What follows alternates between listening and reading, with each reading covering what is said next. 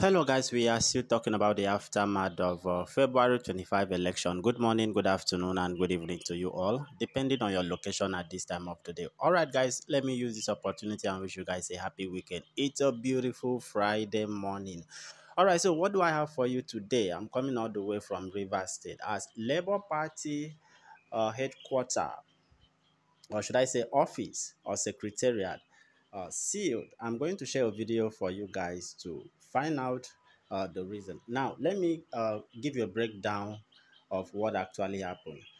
Now, remember in River State, the um, Labour Party, um, due to anti-party activity, man, this is when people say um, politics is a dirty game. So, Labour Party in River State, according to them, collapsed their structure to support, um, I think, PDP in River State.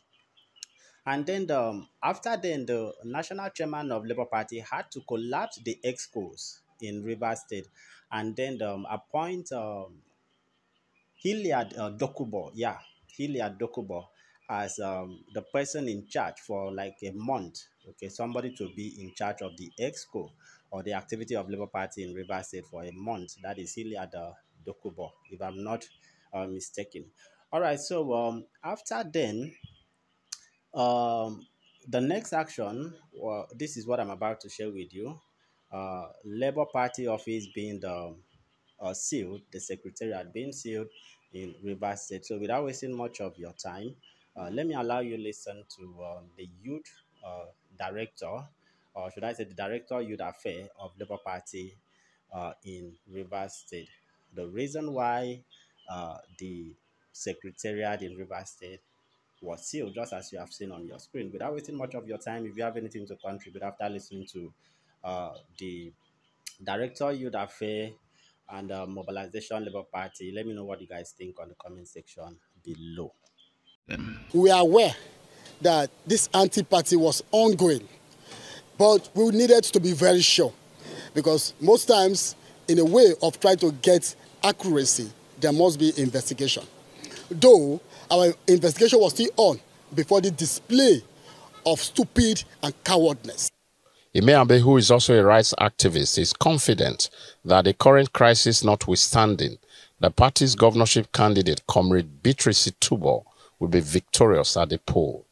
It's quite unfortunate that the same candidate that the people failed and those gladiators, political gladiators in River State, failed was not important.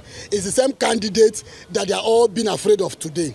Now, all this whole thing, bringing Fafad and Princeway, saying that Beatrice Itubo has stepped down for this, saying that uh, Beatrice Itubo is not capable to contest for this, all of this was to distract the electorate or the people of River State that has believed in Labour Party to be uh, distracted. Pressurize them. You don't need to force them. They have chosen somebody that, if they have been doing well, this is the time to now judge whether they have been doing well or not.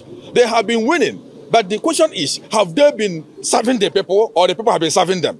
Now it's a time for us, they have decided and chosen and seen a, the, the, the, person that they have looked at as the person who is going to lead them, not being an emperor to them, not forcing them.